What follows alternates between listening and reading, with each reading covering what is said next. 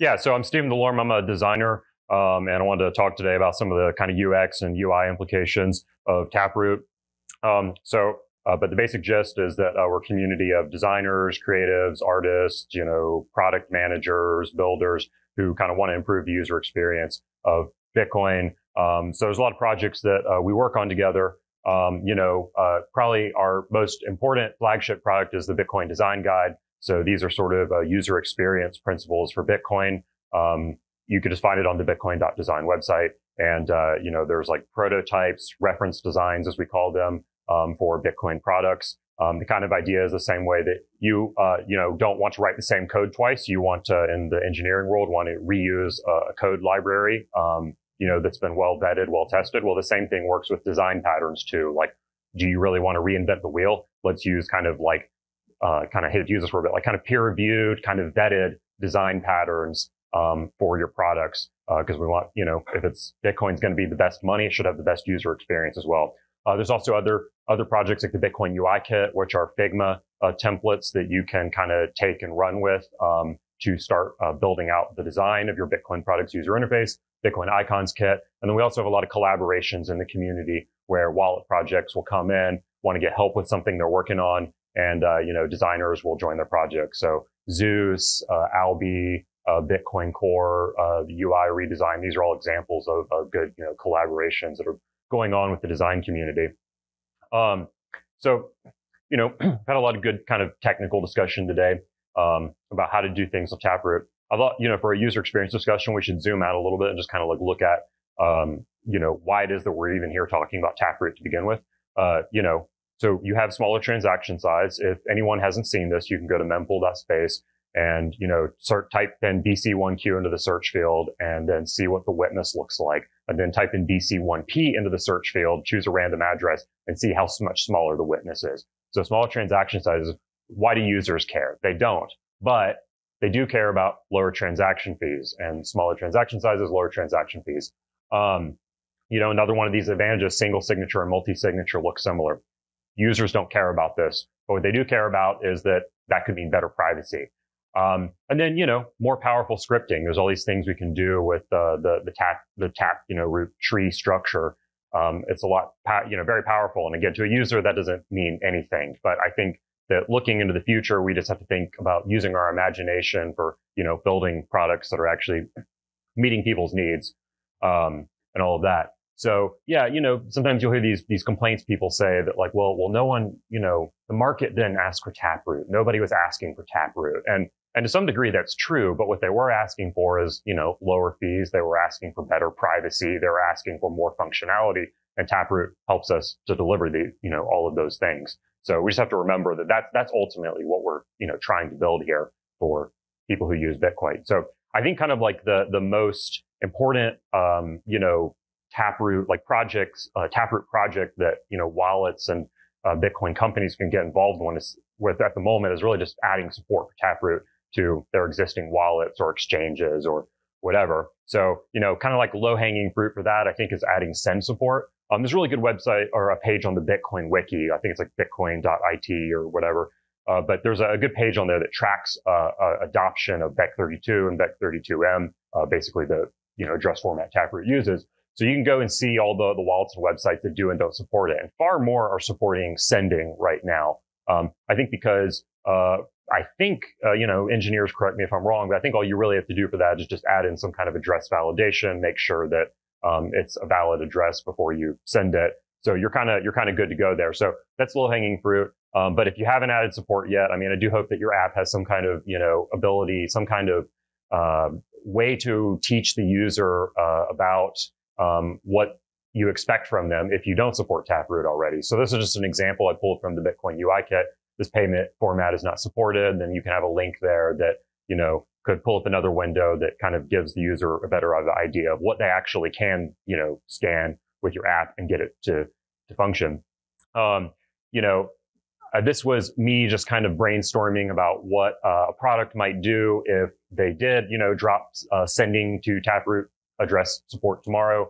You know, the user might go to their home screen. And, you know, I, I think, uh, you know, for those of us that follow the development side of this, our initial instincts might actually be to make a big deal out of it and say, whoa, Taproot sends are here. You can now send a Taproot address. It's the latest and greatest, you know, improvement. And uh, I would actually not suggest that because I, I, I got to thinking about that. I was like, well, you know, do we really want to make a big deal out of it? Really, what this is is this is kind of an under the hood compatibility thing, and really, almost maybe maybe the user doesn't even need to know about this at all. Uh, you know, it's just that their wallet is just suddenly become more compatible, and um, you know, we we don't really need to go into all the gory details about that. So I actually toned that back down a lot. We can just scrap that one. I did this one. Just you know, you can imagine a, a generic um, every time, you know, uh, the, the software updates, they get a little notification. Boom, you're on the latest version.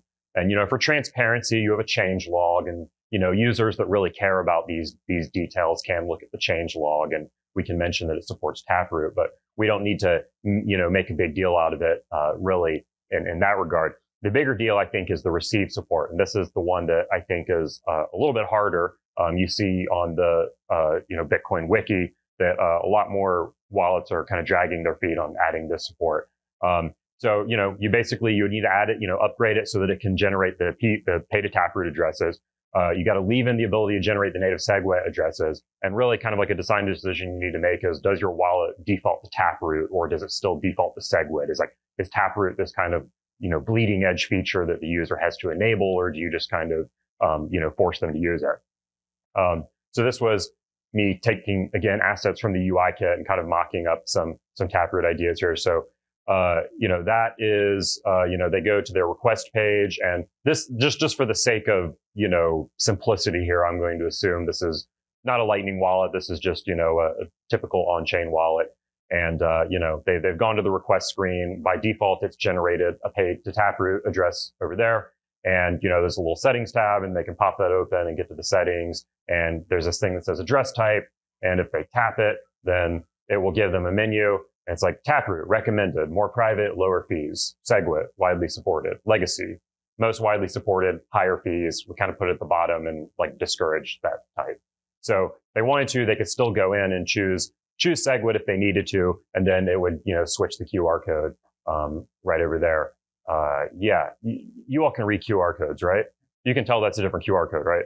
Uh, and then, uh, you know, I got to thinking like maybe that would actually be annoying. So like, if I guess if we go back to this real quick, like this is kind of uh, a wallet that's kind of taking a strong stance on Taproot. They're like, look, uh, you know, we need to get the ecosystem on Taproot. We need to make Bitcoin more private. Uh, we're not, you know, everybody needs to be pushing for Taproot. So we're going to kind of default our users to Taproot. Um, and so they're kind of taking a stance on that. Well, there's going to be this interim kind of messy period where, you know, other wallets don't support it. And, um, that's, that, that's going to be messy. So, uh, you know, maybe one way you could kind of redesign the other flow quicker is I've got, you know, this kind of like little carousel here. Um, you know, it's probably a design pattern people are used to seeing now where you just have, you know, some little indicators at the bottom of the screen and you can kind of swipe through it. And I've got a Taproot address by default, but then I can just swipe over and turn it into a SegWit address. And then I got to thinking, well, like they look so similar. Like, is the user going to even notice the difference? Are they going to, uh, like, are, are they going to understand? So I just put a little note there that says SegWit address, use this address format if the, if the sender can't use the format on the previous screen. So just, just to let them know that, hey, this one is okay. You, you can use this one. Um, you know, you use the other one first, but if they can't support it, then use that one.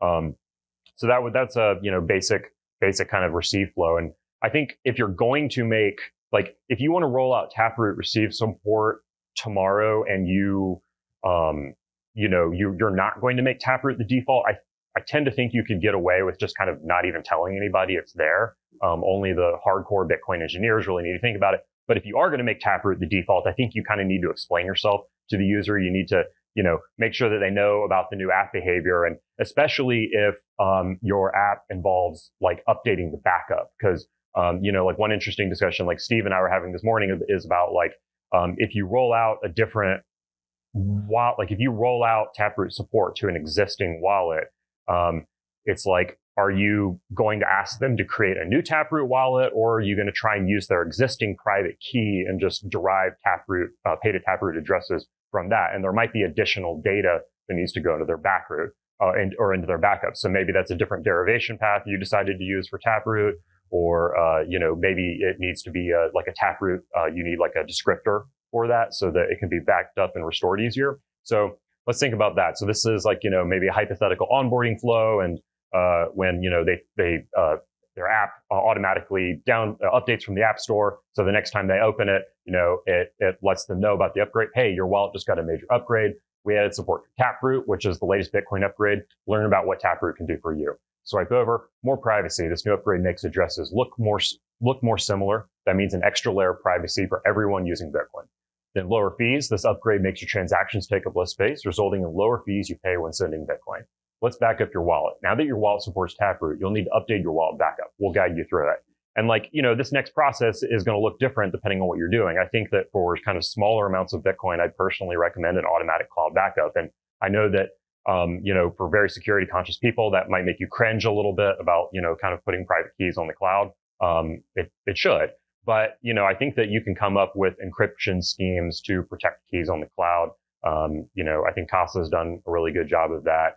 Um, you know, a lot of uh, like Phoenix, I think, uh, will let you do that. A lot, a lot of different wallets will let you kind of encrypt your key and it could just go to Google Drive or iCloud. And for smaller amounts of money, that may be a perfectly valid security model. So if you're using that, you could totally just jam some, you know, Taproot descriptors or whatever into the automatic uh, cloud backup, and that would probably work. But for wallets that do have a manual backup, you are going to need to have them, uh, you know, re- record some additional data. Because if you want it to be interoperable with other wallets in the future, you need to know how to be able to generate, regenerate that Taproot wallet. So this is just a mock-up of a like kind of a wallet backup template. And, you know, the idea for this could be like, uh, this descriptor, by the way, is probably wrong. I'm sorry. I'm a designer. Uh, but you know, the, the basic gist is like maybe you have this template for your product that gets automatically generated, and uh, you know, certain less sensitive things uh, you could uh, kind of bake into the template. Um, so this could be a PDF file that they download.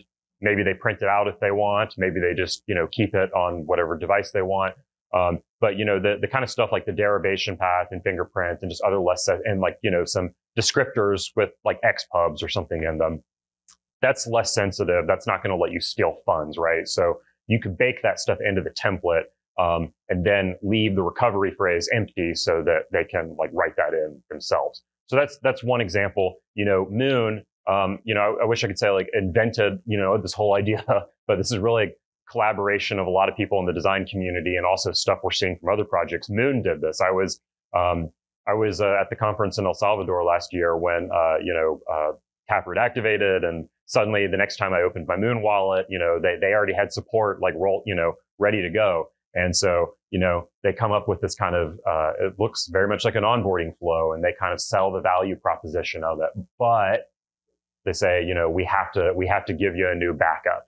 Uh, so, you know, I have to go and update my emergency kit, which you kind of save to your cloud for this one. And uh, then it lets you verify and it's kind of this pdf file you can look at. And basically they're just jamming taproot descriptors into it. Um, but for, for the way that their backup system works that's it, it kind of relies on that. Um, but yeah that basically introduced it and now they're defaulting to taproot. Um, so they kind of they took a stance on it. They i think they they wanted to support taproot and uh, get people more people using it so that's cool so you know, the, the decisions you make for your Bitcoin product might be a little bit different than the ones that they make. You know, you kind of have to decide, you know, for your users, what is best. Um, but that's just kind of, um, you know, hopefully this helps kind of, you know, helps you think about this a little bit more critically, um, as you start to roll out Taproot support. So, um, you know, just some kind of fun stuff. I think, um, you know, uh, that, that, that's like the, that's what we need to be working on now. Maybe in the future, where else could designers help? Like, uh, you know, there's this MuSig 2 Frost thing, so threshold signatures and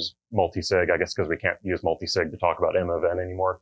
Um, I, I, just, I, I, would like to learn more about these personally because I'm, I'm curious to know if it's going to kind of change the methodology, um, by which, uh, you know, users interact, uh, with multi-sig and threshold wallets. So I, I, am just curious about that personally so that we can, um, you know, see what design patterns need to evolve around that there's this coin swap thing. Uh, I'm hopefully I'm going to learn more about that soon too. Uh, you know, it's it's it's supposed to use Taproot in some clever ways to improve privacy. Um, so I think that we'll need some kind of design patterns around that. And then, you know, I listed Taro here, but uh, I'm really just using that as a placeholder for like whatever when people whatever people build on Taproot. People are always talking about well, Taproot enables more smart contracts and crazy stuff. So it's like we don't really know what you know people are going to build with Taproot over the next ten years or so. But whatever it is, if it if it gets as wild as people act like it's going to get, then we're going to need some some design love in there as well.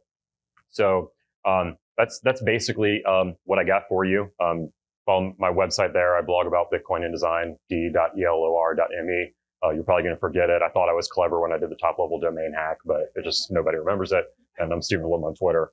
Um, but that's that's that's the basic gist. So um, yeah, I don't know how much time I have left, but I'm happy to take any questions if anybody has any, and otherwise we're good to go.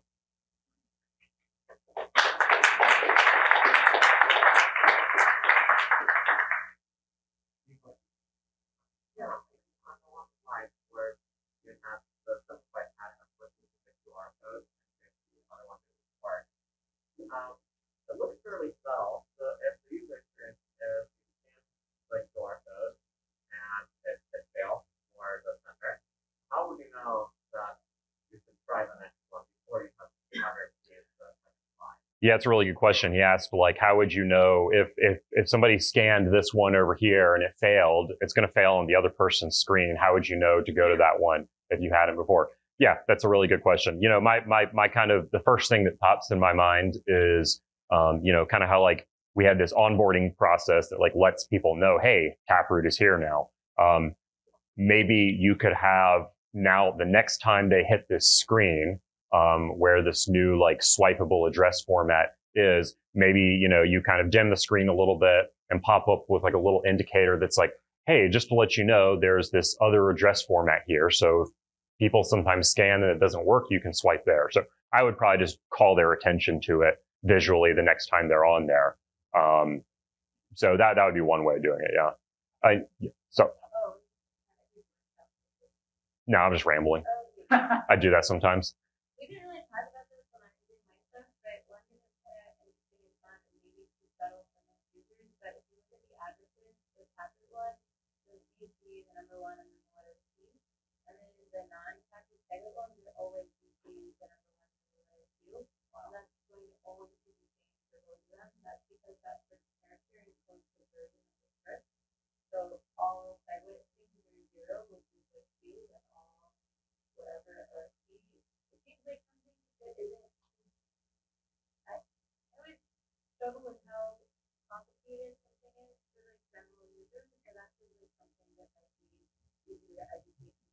Mm-hmm.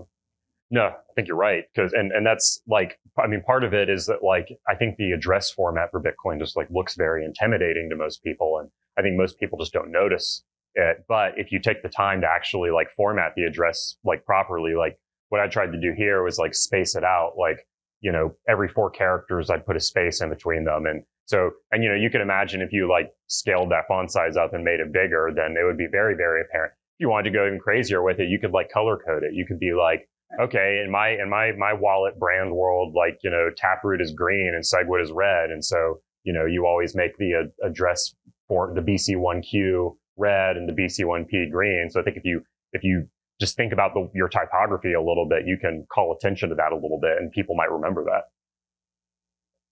So. Um, I thought it was interesting that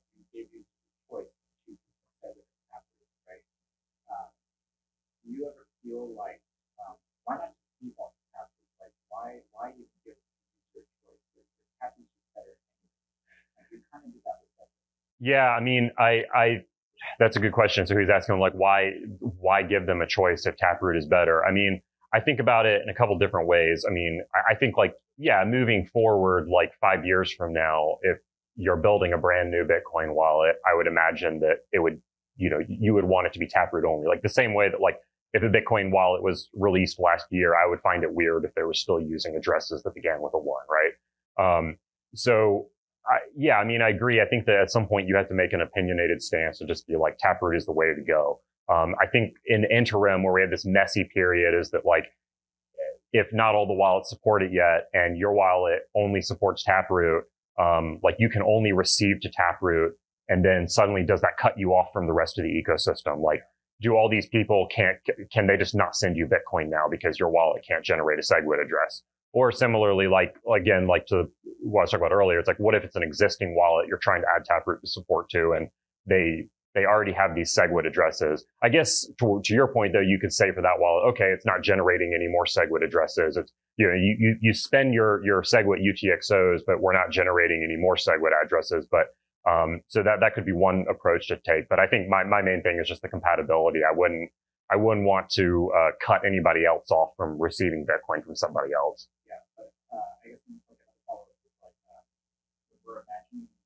Person.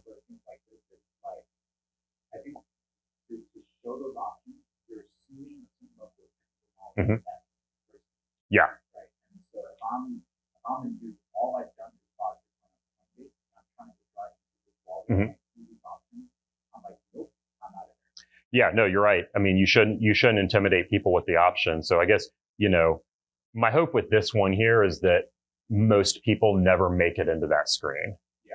Because like they like in in in the majority of situations, they say, okay, send me the Bitcoin, and they just hold up this QR code on this screen here, and they never they never get past it. Um, I, I envisioned like the rest of this as being for like um, okay, that didn't work, or okay, I'm an advanced user, or I feel like I'm an advanced user and want to learn more. Then they boop, and then oh, what happens if I fiddle with this stuff? You know. Yeah. So yeah, I mean, you're right. Absolutely, you shouldn't. I think that I, I think that it's be- better to err on the side of simplicity, especially for non-technical users, and just like stick with something like that. They wouldn't again privacy, so if you're receiving the password address, but they only generate data segments, then the input is going to be a data segment, there'll be two outputs, one tablet, one data segment. So you know this guy paid tablet for that that right? So that's why you want to be able to select those. Like if your wallet, all your your segments are data segment only, then um, you want to receive the data segment so that the two outputs are both the same address type. So then like you don't know who's paying. Mm. Now, I hope it's okay if I mention this. You mentioned that thing to me earlier, Steve, about the the um, uh, what if we set up Bitcoin wallets so that anytime you uh, spent, uh, you made a transaction, the change output, like if it's say it's a SegWit wallet, the change outputs go to um, uh, to uh, Taproot outputs. Would that be a privacy concern? You think? Well, it's a practice in terms of that's like any job right now. That's the default behavior. It's one, yeah, is that it's going to be Interesting. presented at a different plus is that um, the change output is going to optimize for the follow on step, not like the receiver. But if the whiskey brain here is like or yeah, like other times. but like you want to have a mix of different types of yeah, so yeah, you're right. Okay, yeah. So that would, that would be that would be totally cool if wallets started doing that. I think. Then yeah, then you would just you know be putting people on Taproot and moving them over to better better privacy practices without having to bother them about it. I think.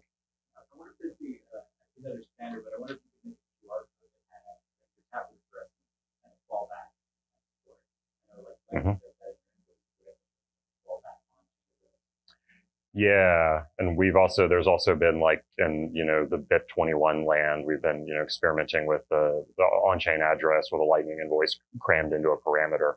Yeah, I don't know. That'd be a good. Um, Then to make that QR code, and then of course everything that our app is also would be. um, Yeah, it's like it's that's that's that's the that's like the the, problem. That's like the, the the multiple formats is such a an issue in Bitcoin. The payment for, format requests. I mean, we just have like pages and pages in the Bitcoin design guide. One page entirely to on-chain formats and one page entirely to Lightning formats.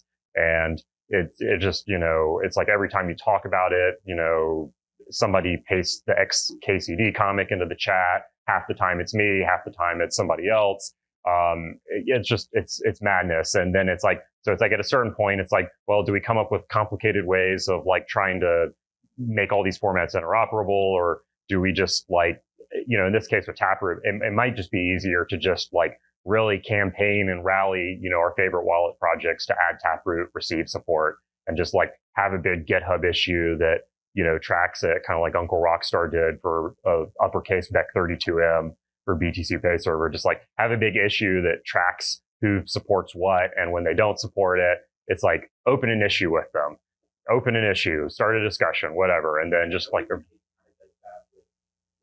you're right. You could put that page, showing all the all the oh, libraries. Yeah.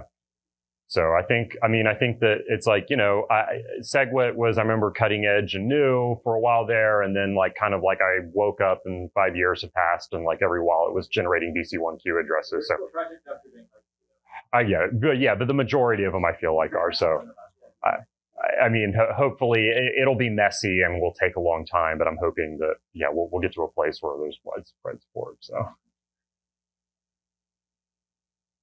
Well, cool. Anything else or are we? Cool. Thanks so much.